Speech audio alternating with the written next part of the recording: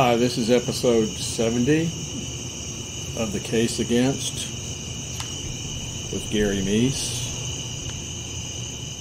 We're continuing to look at the case of the West Memphis Three, which would be Damien Echols, Jason Baldwin, Jesse Misskelley Jr., who were convicted in 1994 of killing three eight year old boys named Michael Moore, Christopher Byers, and Stevie Branch on May 5th, 1993, in West Memphis, Arkansas. And they're, of course, they're best known as the the killers are best known as the West Memphis Three. And uh, they were convicted and uh, served 18 years or so, and and pled pled out guilty in 2011 and were released for time served.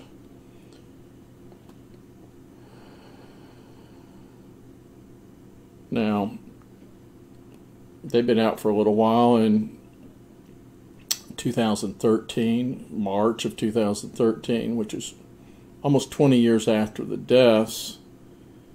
An attorney presented new allegations based on wild, unsubstantiated tales from a pair of convicted rapists serving time in the Cummins unit of the Arkansas prison system.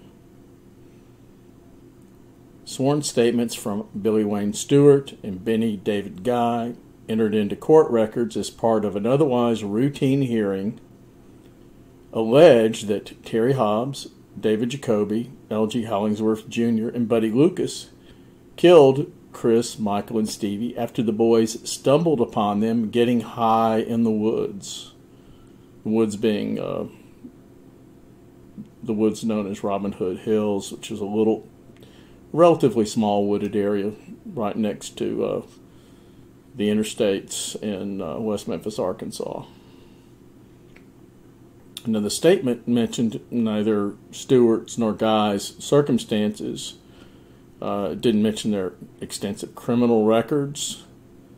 News coverage of the hearing largely focused on the unfounded allegations, uh, with most news outlets apparently not bothering to even look into the sources of these allegations, and virtually no one, except me, reporting that these two guys were in prison as convicted rapists long term, including one of the one of them is in, in convicted of a rape of a uh,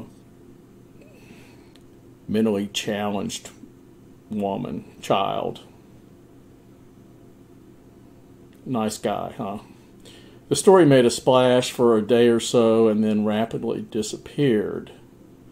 The reason it rapidly disappeared is because it just simply it, it sounded it made really good headlines, but there really wasn't anything to it.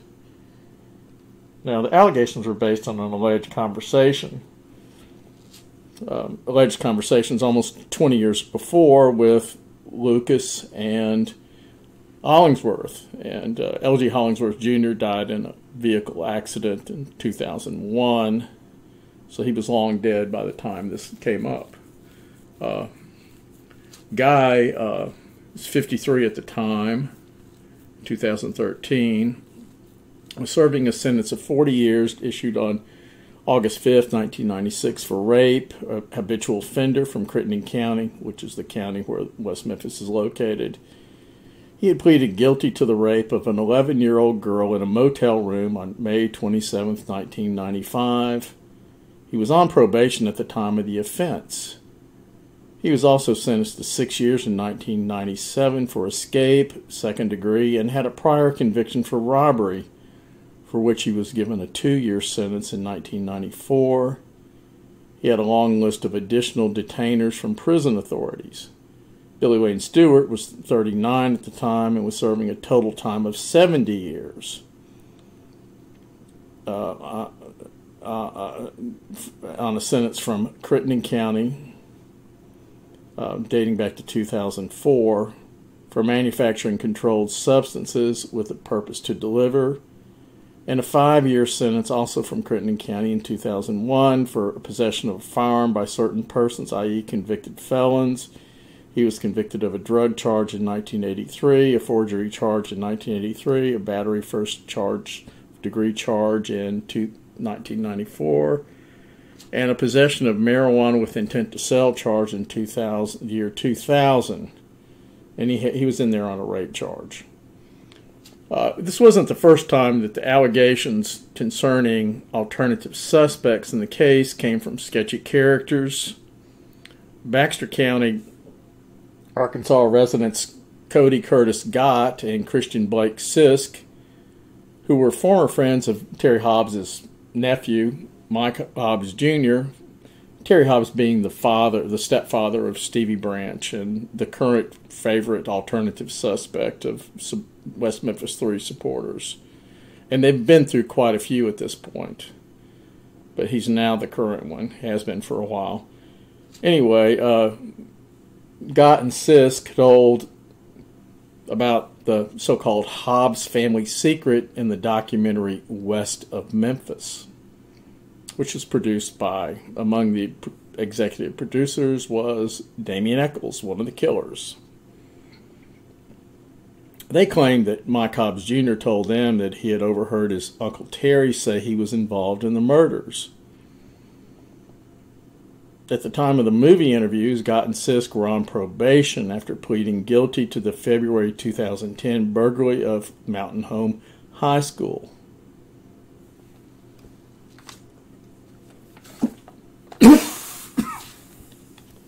at at the at the time I wrote this, uh,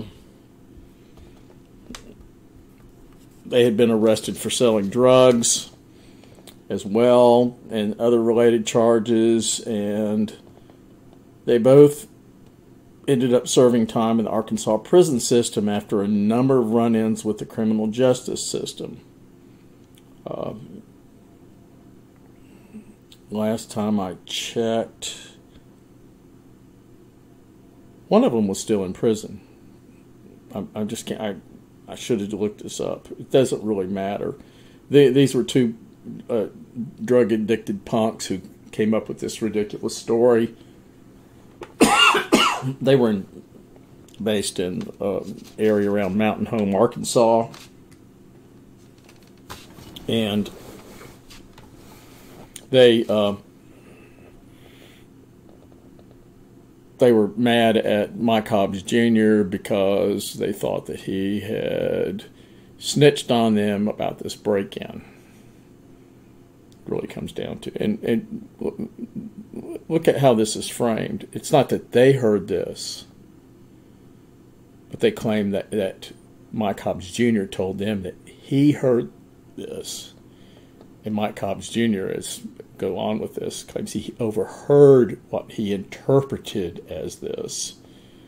And so we're talking about uh, a, a, the initial source being sketchy to begin, or, or unclear and sketchy to begin with, if it even existed. He's overhearing it, presumably not hearing it all that well. He tells his friends, and his friends tell supposedly tells his friends this, and they they spread this as gospel. Now, we have no reason to believe Gott and Sisk to begin with. We don't know what if Mike Hobbs Jr. said anything to them, and if he did, we're not really sure what he said. But let's let's presume it might not have been what Gott and Sisk uh, report. And then uh, there's always the, poss- the, there's really strong likelihood that Terry Hobbs he didn't really actually ever overhear anything from Terry Hobbs playing with his brother. He was down in the basement playing guitars with his brother Mike. Uh, that that Mike Jr. may not have heard anything. That Gott and Sisk just simply made up the whole thing. Not that unlikely. Uh, Mike Hobbs Jr. and his father both denied ever saying that Terry killed the boys. Uh, as I already mentioned, uh, Hobbs Jr. did provide information about the break in uh, that led to the arrest of Gott and Sisk, who had a motivation for re- retaliation. Uh, even if true, the statements would have been hearsay and of little worth for prosecutors.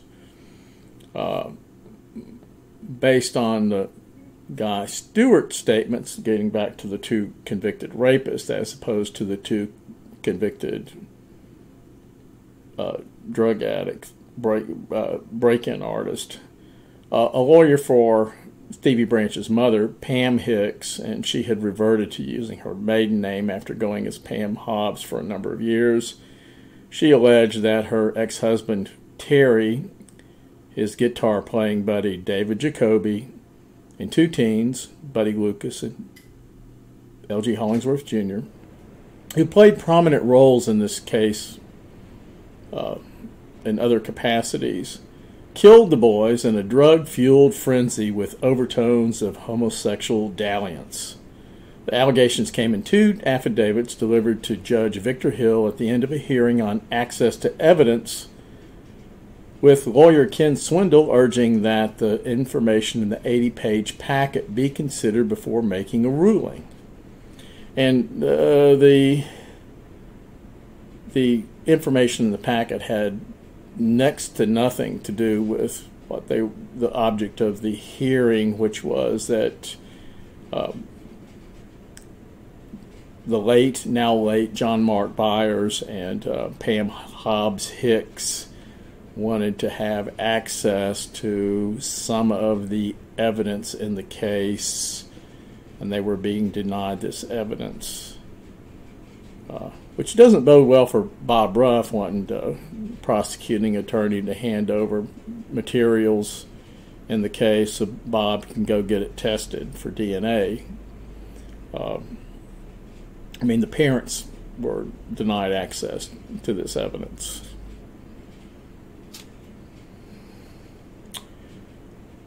Luke, uh, and this was a hearing in uh, Marion, Crittenden County Courthouse.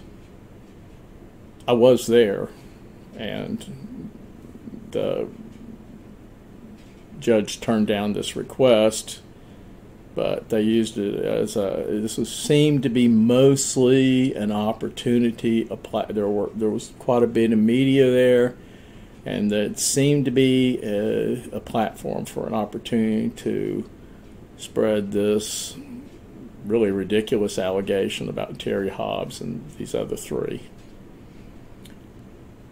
Lucas in 1993 told police that Misskelley confessed to him the day after the killings.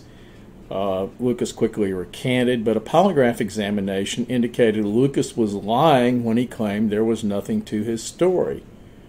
In other words, he described in great deal, great deal of detail what Jesse Misskelley Jr told him the day, the morning after the killings, with tears in his eyes, about he'd gone to uh, West Memphis with and uh, Damien and Jason Baldwin and messed up some boys.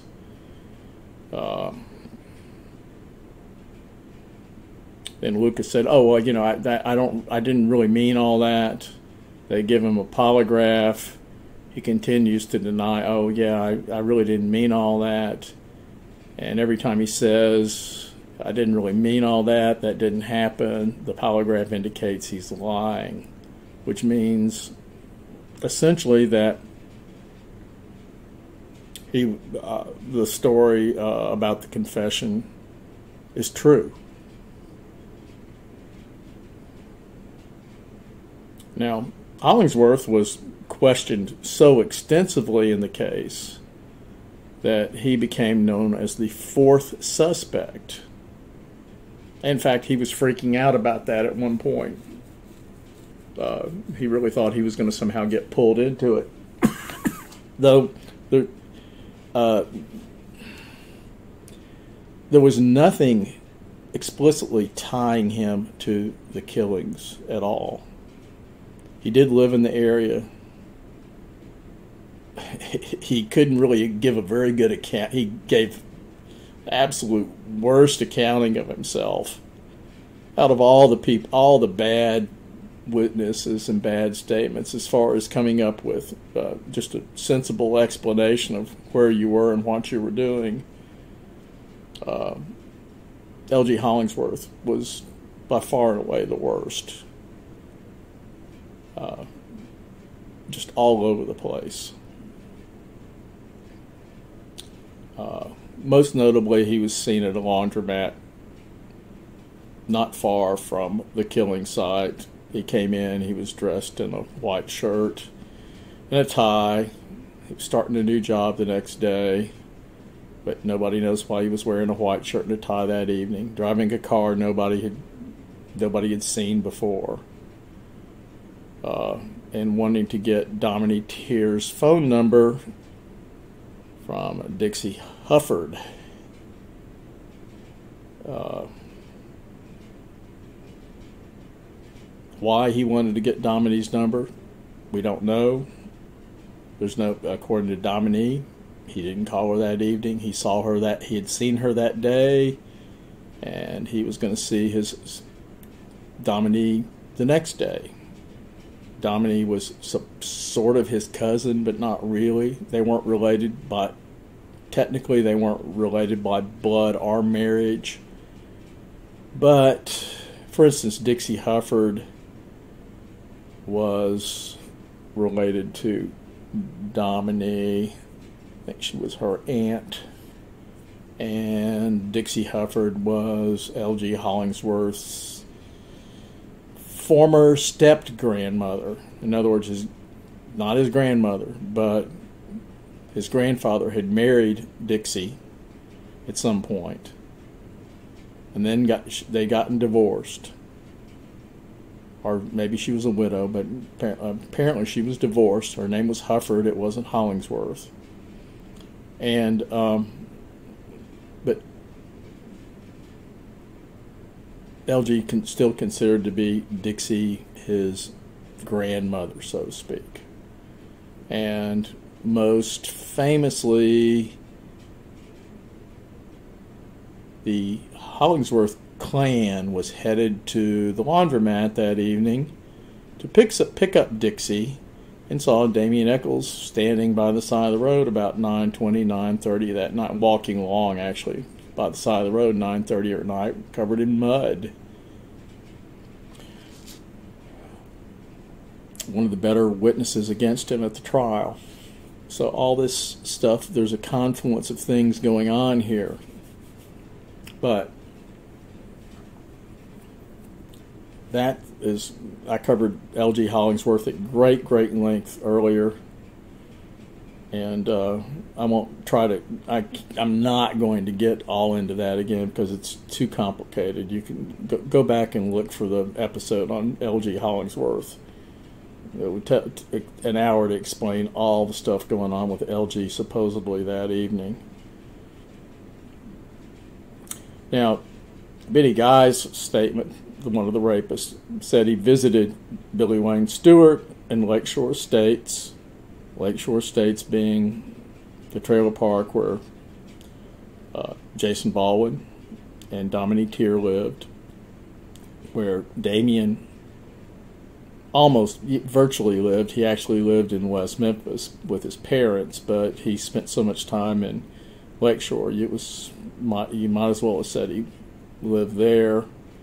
It was where J- J.C. Misskelley Jr. met Damien and Jason uh, that that evening and walked over to Robin Hood Hills and killed the three little boys. Anyway, Buddy Guy said he visited Billy Wayne Stewart on May 5th, 1993, and was he was working on a stock car when he saw Lucas and another teen get out of a truck driven by two adults. Uh, then Buddy Lucas bought some marijuana from Billy Wayne Stewart, according to Guy. Uh, so that was a sighting on May 5th, 1993, which is the date the boys were killed. Guy said Lucas later moved in with him in Walls, Mississippi, which is in DeSoto County, just really just south of Memphis, Tennessee. A guy stated in March of 1994 while working on a plow at Robertson Plantation, I asked Buddy when those people, those people come to talk to you about them boys that was supposed to got killed. Did you do that? Buddy dropped his head and didn't want to look at me. He looked all sorry and upset and said, Yeah, and nothing else. I said, Lil Bud, you know you can tell me now. I ain't going to think no difference of you. He just kept looking down, all sad and quiet. So I asked, What did you do? He then said, Me and L.G. Hollingsworth and two men, we was there with them boys. We did it. Benny Guy described Buddy Lucas as pretty bad slow. I'm putting on a little bit of a southern accent, but honestly, I don't have to work it too hard. A guy described how Lucas confessed again later when he moved in with Guy's family briefly. Guy said that in April 1995 he told Stewart about the confession, and Stewart confronted Lucas, who described the circumstances of the crime. And then Benny Guy wound up in a jail cell with L.G. Hollingsworth in July 1995. Guy said, When I told L.G. that Buddy had already told me that they had killed the boys, his whole attitude changed. LG's face relaxed and he looked like a boy who was proud of what he had done. He did not show any remorse or act sorry at all. Guy said Hollingsworth described how they bought marijuana for Hobbs and Jacoby, drove around getting high and drinking, and went into the woods. Hobbs talked the teens into wrestling each other. After the three boys spotted the men, the three boys, the Michael, Chris, and Stevie, spotted the men, Hobbs ordered the others to hold them, said Guy. One of the boys kicked Hobbs, who went into a rage. He began beating the boy, with the others joining in beating the others, according to Guy's statement on Hollingsworth's account. Then they pulled the boy's pants down. Hobbs pulled out a knife and cut the scrotum and penis of a boy. Then they tossed the boys into the ditch, along with their bikes and other evidence. In his statement, Stewart described how he and Hobbs began using the same dope dealer in the early 1990s, with Hobbs eventually buying his meth, cocaine, and marijuana from Stewart. Stewart's account, given to an attorney representing Hobbs' former wife, described Hobbs as bisexual and said he witnessed Hobbs kissing Jacoby when they came to his house in Lakeshore for a marijuana buy on May 5th.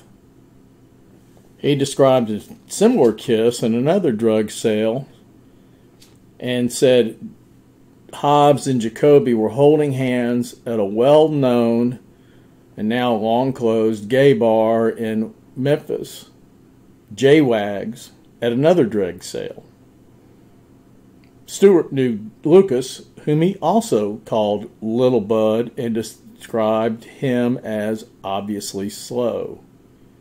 Stewart said, In April 1995, Benny Guy told me that Buddy Lucas had confessed involvement in the murders at the Blue Beacon Woods. There was a Blue Beacon truck wash next to the woods, so it's also known as the Blue Beacon Woods, in addition to Robin Hood Hills. Stewart said Lucas told him much the same story as Hollingsworth told Guy, with the added suggestion of sexual activity. Stewart said, when describing the smoking and the drinking, Buddy dropped his eyes and paused as if he was ashamed. He would no longer make eye contact.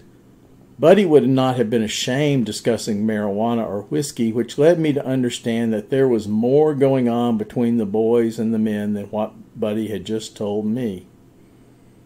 At this point, Buddy's speech slowed. Gone was the little Bud that I had grown to know and love.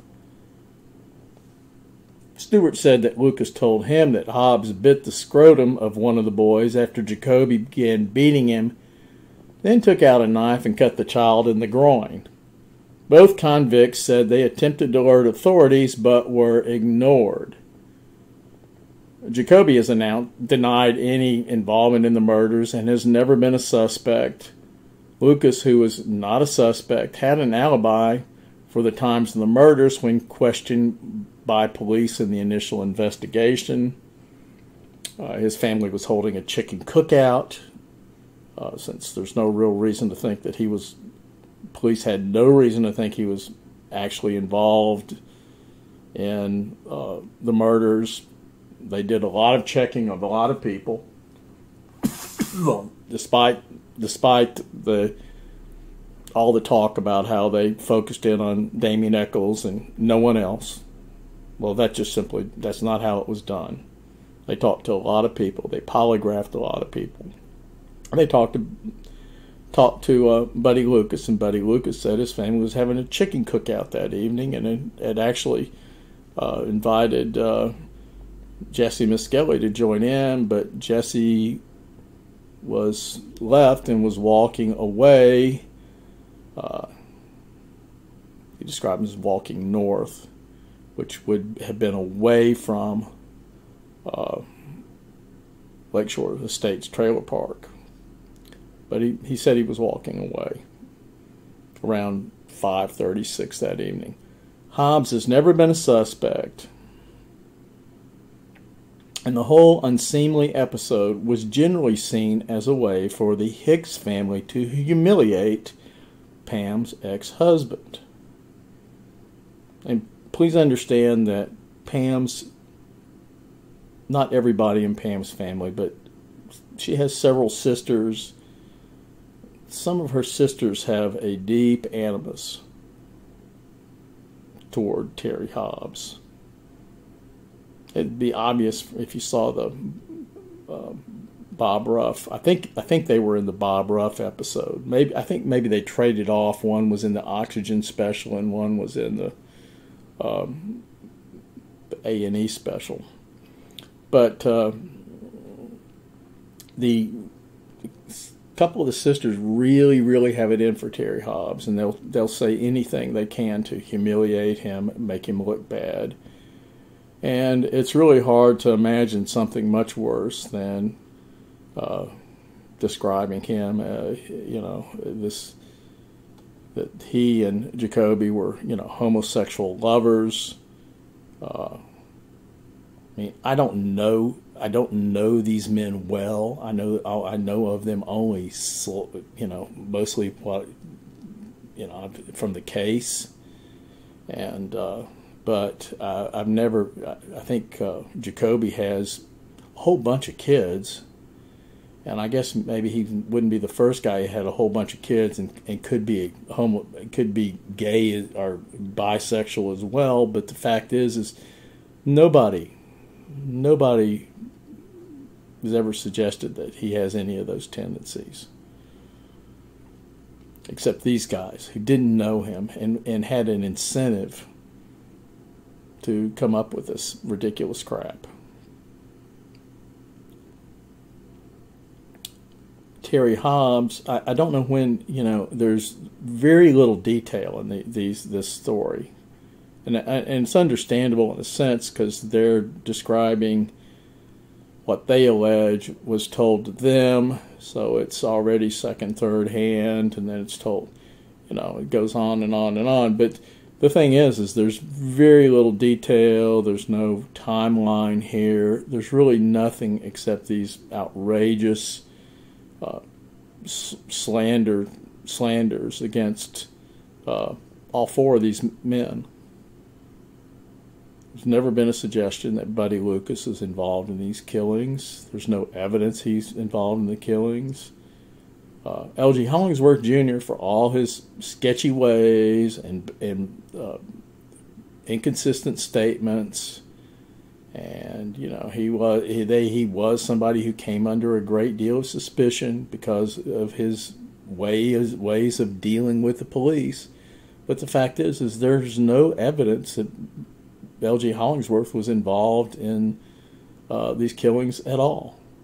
Now he he did know uh, Damien Echols, he did know as a Dominique Teer. He was around them that day.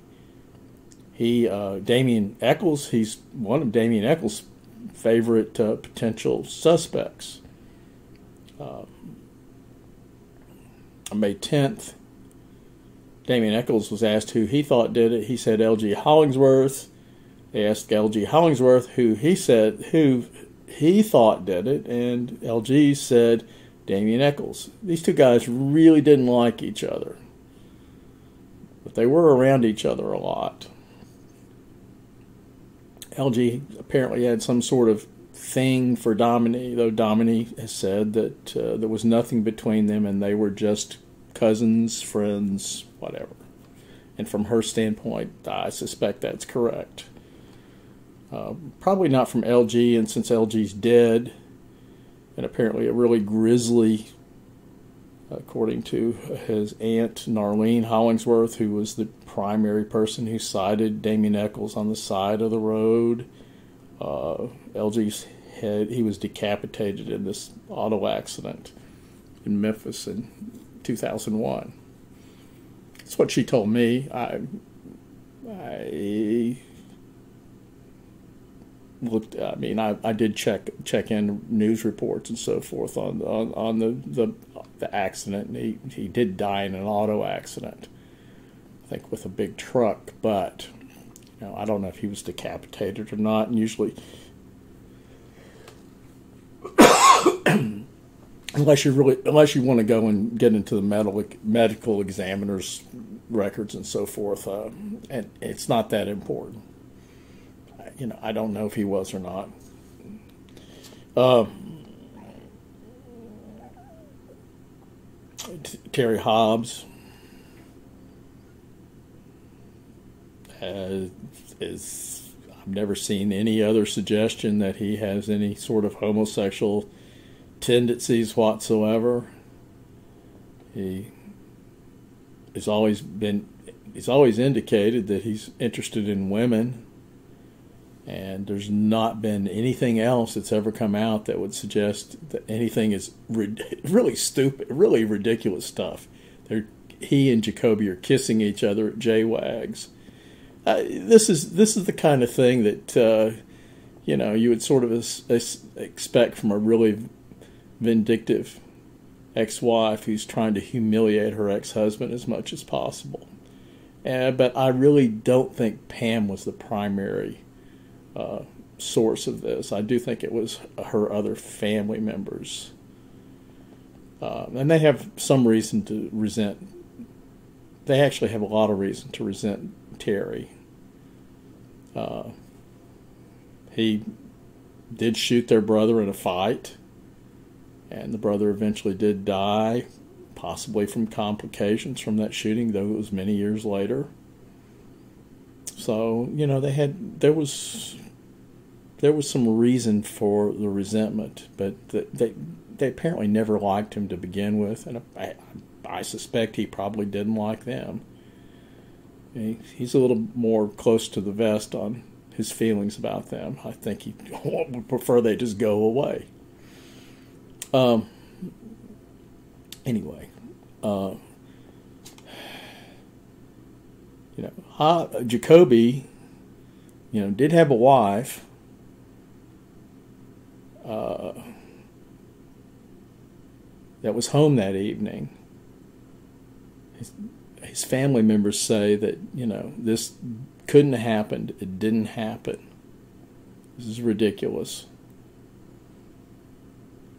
And of course, Jacoby was upset at this hearing. He kind of famously, there was some film footage of him, you know, really kind of escaping from reporters. He didn't know how to deal with it. Uh, Hobbs is a little better about this.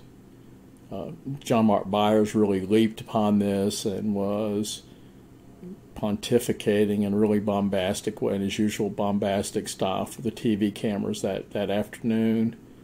Uh, was on the local news. I, I don't know how far it spread beyond that. Uh, and as I say, it, it died within a day or two because there was nothing backing it up.